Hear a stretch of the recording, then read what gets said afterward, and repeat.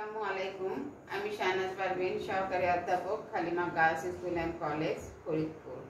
Halima girls college কর্তৃক আয়োজিত online ক্লাসে তোমাদের সবাইকে স্বাগত। আশা করি প্রত্যেকেই তোমরা ভালো আছো, একাদশ দ্বাদশ শ্রেণির ছাত্রীবৃন্দরা। অবশ্যই তোমরা সবাই পড়াশোনায় ব্যস্ত, বিশেষ করে দ্বাদশ শ্রেণির ছাত্রীবৃন্দরা। তাই না? তোমাদেরকে তোমাদের জন্য হয়তো বা কলেজ খুলে দেওয়ার সম্ভাবনা আছে। যেহেতু তোমাদের সামনে পরীক্ষা, সেজন্য হয়তো সামনে তোমাদের কলেজ খুলে দেওয়ার সম্ভাবনা ভাগটা বেশি। এই জন্য তোমরা একটু বেশি বেশি পড়াশোনা করবা।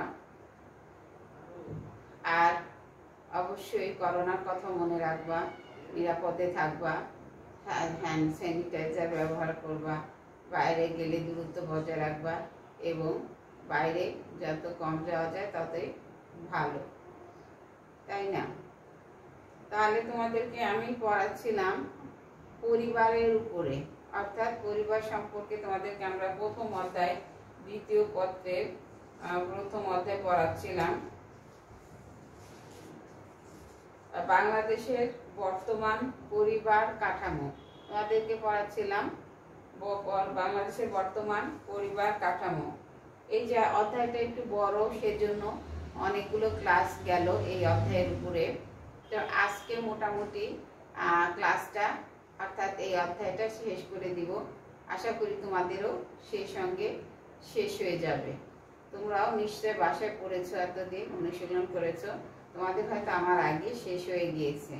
যেহেতু সংক্ষিপ্ত তোমাদের সিলেবাস সংক্ষিপ্ত করে দেওয়া হয়েছে, খুবই অল্প। অর্থাৎ তোমাদের এতদিনে খুব সম্ভব শেষ সব অধ্যায়গুলোই শেষ হয়ে গেছে। তাহলে আজকে আমরা পরিবারের কার্যাবলী সম্পর্কে পড়ব। অর্থাৎ প্রত্যেকটা পরিবারেরই বিভিন্ন ধরনের কার্য, কার্যক্রম করতে হয়। অর্থাৎ যত সদস্যরাই আছে। ছোট থেকে বড় পর্যন্ত প্রত্যেক সদস্যরই কিছু না কিছু কাজ থাকে এবং সেই কাজ তাদেরকে সম্পাদন করতে হয়। তা আমরা দেখি পরিবারের মধ্যে কি কি কাজ আছে আগে দেখে নেই। পরিবারের মধ্যে কাজ আছে জৈবিক কার্যাবলী, মনস্তাত্ত্বিক কাজ আর নিরাপত্তা ও রক্ষণাবেক্ষণ, অর্থনৈতিক কাজ শিক্ষামূলক কাজ, ধর্মীয় শিক্ষাদান কাজ, সামাজিকরণ কাজ, রাজনৈতিক কাজ, চিত্ত বিনোদনমূলক কাজ, সম্পত্তির উত্তরাধিকার ও স্বাস্থ্য পরিচর্যার কাজ। তাহলে অনেকগুলো কাজ, এখানে মোটামুটি দশ এগারোটা কাজ আছে, যা নাকি পরিবারের সদস্যদের সম্পাদন করতে হয়। তাহলে আমরা প্রথমে দেখি জৈবিক বা জন্মদানমূলক কাজ জৈবিক কাজটা হচ্ছে আসলে দুই ধরনের। একটা হচ্ছে জৈবিক চাহিদা বজায় রাখা একটা হচ্ছে সন্তান জন্মদান ও নাম রাখা। জৈবিক চাহিদা মানুষের চিরন্তন চিরন্তন পরিবারের জৈবিক চাহিদা প্রধানত দুটি। একটা হলো জৈবিক চাহিদা বজায় রাখা। আর একটা হচ্ছে সন্তান জন্মদান ও নাম রাখা। দুইজন ব্যক্তি অর্থাৎ একজন পুরুষ ও নারী বিবাহ বন্ধন বা বিবাহ চুক্তির মাধ্যমে কি করে? তারা বিবাহ বন্ধনে আব- আবদ্ধ হয় এবং জৈবিক চাহিদা পূরণ করে। এরপরে তারা কি করে? সন্তান জন্মদান করে এবং তাদের নাম রাখে এবং লালন পালন করে তাদেরকে লালন পালন করে বড় করে।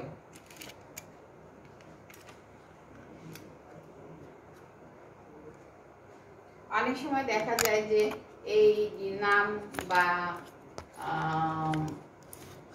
অর্থাৎ শিশুদের সন্তান জন্ম ভূমিষ্ঠ হলে অনেক সময় নাম দেখা যায় যে অন্যান্য শিশুদের সাথে মিল রেখে বা বড় ভাই বোন থাকলে তাদের সাথে মিল রাখে অথবা চাচা কুকুরদের সাথে মিল রেখেও অনেক সময় নাম রাখে।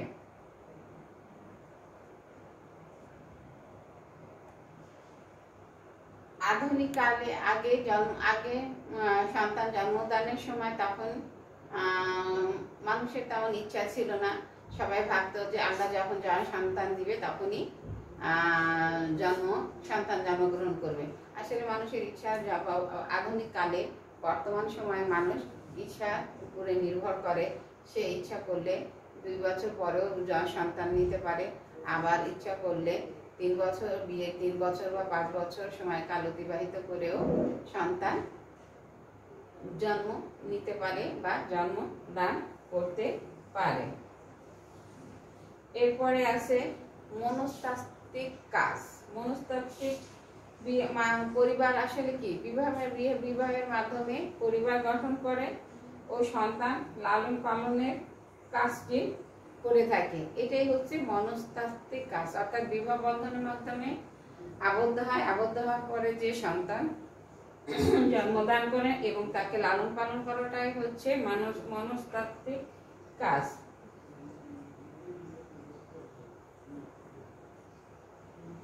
স্বামী স্ত্রী একত্রে বসবাস করে এবং সন্তান সন্তানদেরকে স্নেহ, ভালোবাসা, আদর, যত্নে বড় করে থাকে।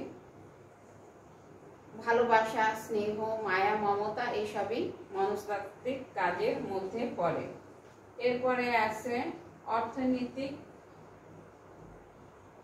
নিরাপত্তা ও রক্ষণাবেক্ষণা কাজ। নিরাপত্তা এবং রক্ষ, অর্থাৎ একটা পরিবারের মধ্যে নানান ধরনের লোক বাস করে, অর্থাৎ বয়স্ক লোক বাস করে, বয়স্ক শিশু যুবক, যুবতীরা বসবাস করে। এই জন্য এদেরকে কি করতে হয়? শিশুদেরকে রক্ষণাবেক্ষণ করতে হয়, বয়স্কদের দেখাশোনা করতে হয়, তাদের কি ধরনের চাহিদা, কি খেতে পছন্দ করে বা অসুস্থ হলে তাদের সেবা যত্ন করা, শিশুদের ঠিক ঠিক তাই সেভাবেই রক্ষণাবেক্ষণ করে তাদেরকে কি করতে হয়? বড় করতে হয়।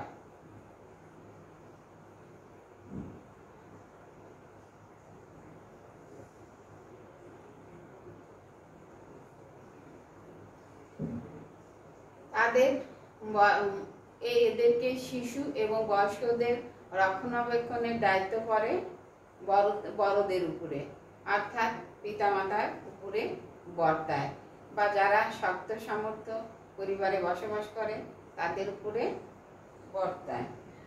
এরপরে আছে অর্থনৈতিক কাজ।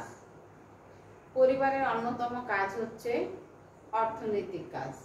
অর্থাৎ অর্থনৈতিক কাজ যদি না করে তাহলে পরিবারের খাওয়া পড়া বা ভরণ পোষণ কীভাবে হবে? অর্থাৎ অর্থ ইনকাম করতে হবে যেভাবেই হোক। আগেকার দিনে মানুষ কি করতো? ক্ষেত খামারে কাজ করত কাজ করে ফসল ফলাতো এবং তার মাধ্যমে পরিবারের কাজ, পরিবারের সদস্যদের ভরণ পোষণ নির্বাহ নির্বাহ করত। বর্তমানে, সাধারণত বর্তমান সময়ে দেখা যায় যে কৃষিকাজের পরিবর্তে মানুষ পড়াশোনা করেছে, শিক্ষিত হয়েছে এবং বিভিন্ন জায়গায় চাকরি করে, বিভিন্ন কর্মস্থলে থাকে তারা এবং সে অর্থ নেয়। অর্থ ইনকাম করে এবং পরিবারকে ভরণ পোষণ করে। এছাড়া নির্মবিত্ত আহ, যারা আছে নিয়মিতরা আছে কেউ কেউ হয়তো রিক্সা চালায় চালা গাড়ি চালায় সবজি বিক্রি করে। নানা ধরনের পেশাদার ব্যক্তি আছে এবং নানাভাবে তার অর্থ উপার্জন করে এবং তার পরিবারকে ভরণ পোষণ করে বা পরিবারের বিভিন্ন চাহিদা মেটায়। এরপরে আছে শিক্ষাদান মূলক কাজ। পরিবারের সবচেয়ে গুরুত্বপূর্ণ কাজ হচ্ছে শিক্ষাদানমূলক কাজ। অর্থাৎ যদি পরিবারের সদস্যদেরকে শিক্ষিত করতে না পারে, তাহলে কি তারা অশিক্ষিত থেকে গেলে ভবিষ্যতে তারা বিভিন্ন নানা ধরনের সমস্যা ভুগবে।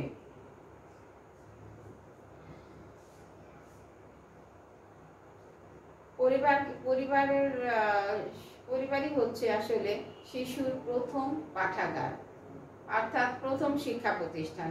অর্থাৎ শিশুকে প্রথমে হাতে খড়ি দেওয়া হয় শিক্ষা বাড়ির বাবা মা বা বিশেষ করে মাতা বা পিতা বা বয়োজ্যেষ্ঠ বয়োজ্যেষ্ঠ যারা থাকে, তাদের হাত দ্বারা কি করা হয়? বাড়িতে বসে তারা শিক্ষা লাভ করে থাকে। পরবর্তীতে তারা স্কুলে যায়, অর্থাৎ প্রাইমারি থেকে মাধ্যমিক পর্যন্ত স্কুলে পড়াশোনা করে, তারপরে উচ্চ মাধ্যমিকে কলেজে ভর্তি হয় এবং আরও উপরের ক্লাস উপরে যখন পড়াশোনা করে, অর্থাৎ তখন তারা বড় বিদ্যাপীঠে গিয়ে পড়াশোনা করে। আর পরিবারের কী করতে হয়? পড়াশোনার কাজ পরিবার পরিবারকেই অর্থাৎ যত খরচপাতি আছে, সব কিছুই পরিবারের পরিবারের সদস্যদেরকে কী করতে হয়? বহন করতে হয়। ধর্মীয় শিক্ষাদান কাজ। পরিবার উপযুক্ত স্থান হচ্ছে, পরিবার উপযুক্ত স্থানই হচ্ছে ধর্মীয় শিক্ষা শিক্ষা, শিশু শিশুকালে শিক্ষা দেওয়া। অর্থাৎ যে যে ধর্মের হোক, মুসলমান হিন্দু, খ্রিস্টান, যে ধর্মেরই হোক না কেন তার সেই ধর্মের ধর্মীয় শিক্ষা শিক্ষিত করতে হবে। ধর্মীয় শিক্ষা দিলে কি হবে? নৈতিক চরিত্র গঠন হবে। পরিবারের সদস্যরা আদর্শ এবং সৎ এবং চরিত্রবান হয়ে গড়ে উঠবে।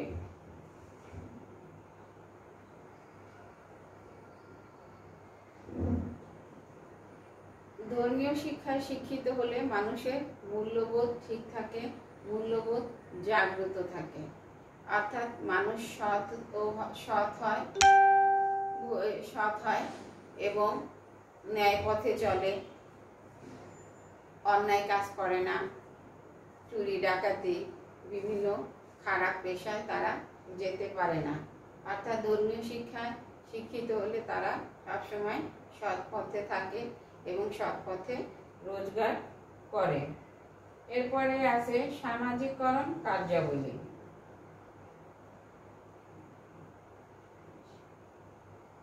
পরিবারের গুরু আরেকটি গুরুত্বপূর্ণ কাজ হচ্ছে শিশুদেরকে সামাজিকরণ অর্থাৎ সামাজিকভাবে তারা যাতে মিশতে পারে একে অপরের সাথে যাতে চলতে পারে, কথা বলতে পারে, সমাজে মিশতে পারে সমাজের যে কোনো অনুষ্ঠানে অংশগ্রহণ করতে পারে সেটাই হচ্ছে সামাজিক কর্ম। এবং এটা পরিবারকে তা পরিবারকে শিশুদেরকে এই সামাজিকরণ শিক্ষা দিতে হবে।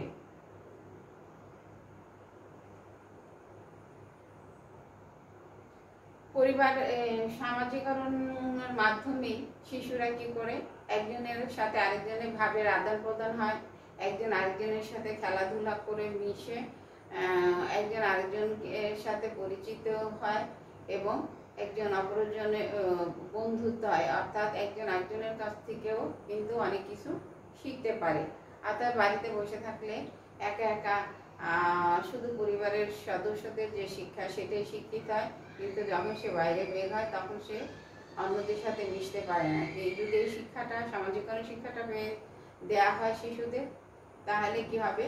তারা সামাজিকভাবেও মিশতে পারবে, অন্যদের সাথে মিশতে পারবে, বিভিন্ন ভাবের আদান প্রদান করতে পারবে।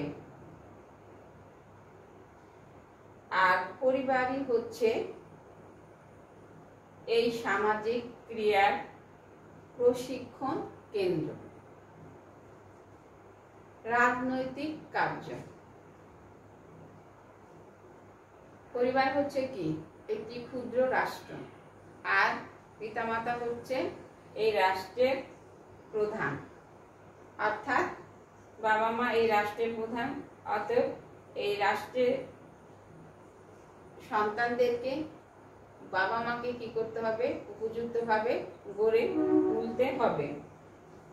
পরিবারের সদস্য হিসাবে অধিকার অর্জন ও কর্তব্য পালন করতে শেখে শিশু পরিবারের প্রধান আদেশ নিষেধ মেনে চলে।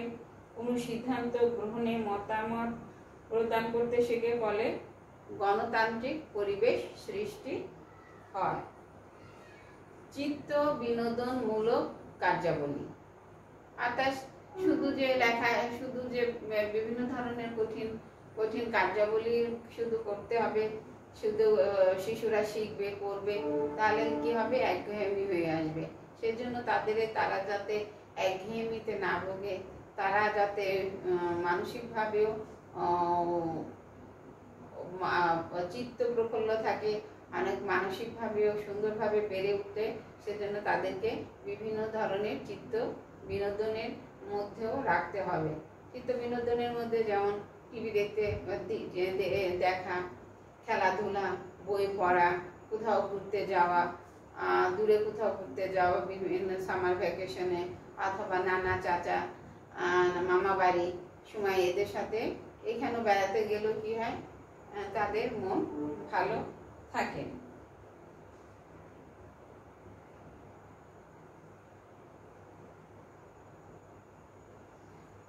এছাড়াও বিভিন্ন ধরনের শিশু পার্ক গড়ে উঠেছে। শিশু পার্কে শিশুদেরকে নিয়ে যেতে পারে। এই শিশু পার্কে যদি শিশুদেরকে মাঝে মধ্যে নেওয়া হয়, অর্থাৎ মাসে একবার বা দুই মাসে একবার, তাহলে কি হয়, শিশুদের চিত্ত বিনোদন হয়। অর্থাৎ তারা একঘেয়েমি পরিবেশ থেকে মুক্ত পরিবেশে যায় এবং নানান ধরনের শিশু পার্কে যে বিভিন্ন বিনোদনের ব্যবস্থা থাকে, তারা সেই বিনোদনে উপভোগ করতে পারে। সম্পত্তি উত্তরাধিকার অর্থাৎ আরেকটি বড় কাজ হচ্ছে সম্পত্তি উত্তরাধিকার। অর্থাৎ পরিবারের মধ্যে যে সন্তানরা জন্মগ্রহণ করল, বড় হলো, বেড়ে উঠল, তাদের পিতামাতার দায়িত্ব কি হচ্ছে? এই তাদের যে সম্পত্তি সেগুলা পরিবারের সদস্যদের মধ্যে বন্টন করে দেওয়া।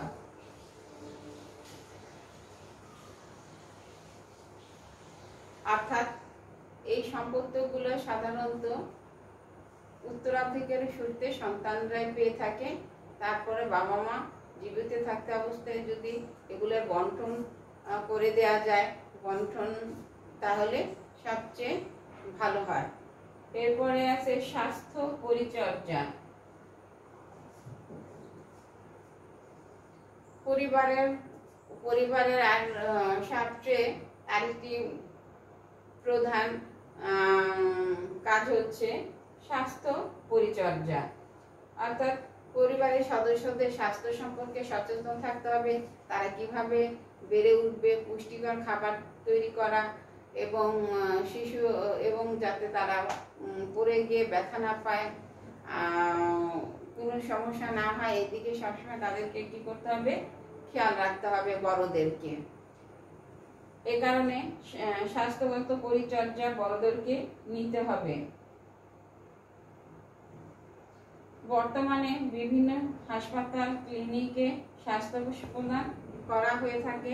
সময় মতো শিশুদেরকে সেখানে নিয়ে চেক আপ করাতে হবে। বিভিন্ন ধরনের টিকা এই ধরনের টিকাগুলো কি করতে হবে? শিশুদেরকে দিতে হবে।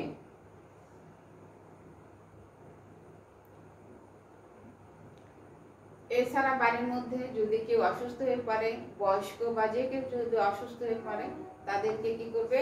বড়দের স্বাস্থ্য সেবা দিতে হবে।